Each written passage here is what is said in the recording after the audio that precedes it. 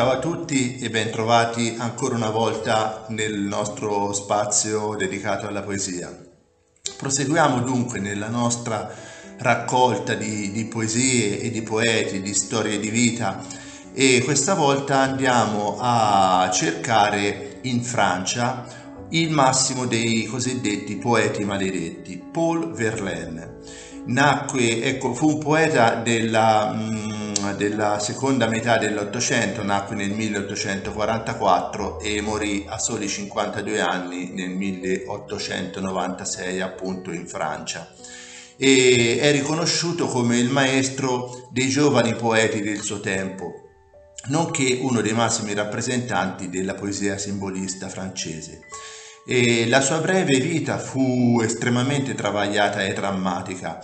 E si va dalla relazione omosessuale con Arthur Rimbaud, che gli valse appunto la nomea di poeta maledetto, ma non solo per questo, fino all'incarcerazione e anche al, arrivò alla conversione al cattolicesimo e alla morte di tifo appunto in giovanissima età. E la sua poesia ebbe un effetto dirompente nel panorama poetico francese del tempo.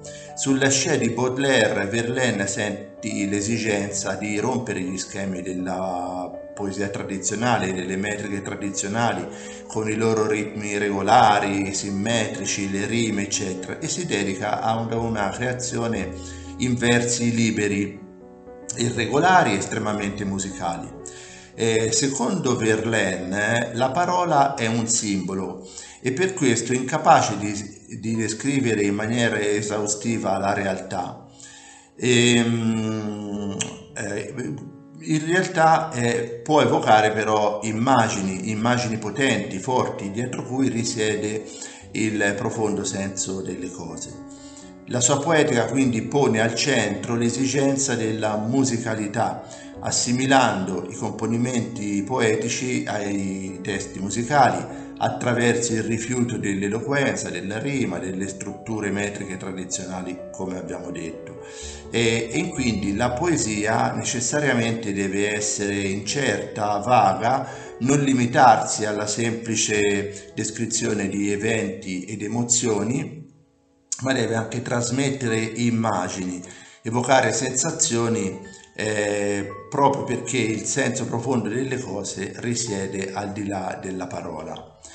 E, ehm, la definizione di poeta maledetto in realtà se la diede lui stesso e la diede lui stesso a quel gruppo di poeti del suo tempo che con lui condivise, condivisero gran parte della loro vita e è anche il titolo di una sua opera, appunto I poeti maledetti del 1883. Eh, detto questo, eh, io fra diciamo, le sue, mh, mm, le, le, le, tutte le sue opere, ne ho scelta una fra le poesie, ne ho scelta una forse minore, però secondo me è una poesia che rappresenta in, eh, al 100% quello che è il senso di Paul Verlaine, il senso di un poeta maledetto. Perché nelle parole di questa poesia possiamo trovare tutta l'angoscia che eh, pervade un uomo che è continuamente in lotta con la vita, con se stesso, con gli amici e con il mondo intero. Quindi anche se Paul Verlaine è famoso anche per poesie d'amore come tutti i poeti del resto, per voi ho scelto questa poesia che si intitola L'angoscia. Niente di te, natura, mi commuove. Nei campi generosi né la vermiglia eco delle pastorali siciliane, né gli sfarzi aurorali, né la dolente solennità dei tramonti. Rido dell'arte, rido anche dell'uomo, dei canti, dei versi, dei templi greci, delle torri a spirali che innalzano in un cielo vuoto le cattedrali e osservo con identico sguardo i buoni e i cattivi non credo in Dio e abiuro e rinnego ogni pensiero. E quanto alla vecchia ironia, l'amore, vorrei proprio non sentirne più parlare. Stanca di vivere, paurosa della morte, simile al vascello perduto, prigioniero del flusso e del riflusso, salpa l'anima mia per orrendi naufragi.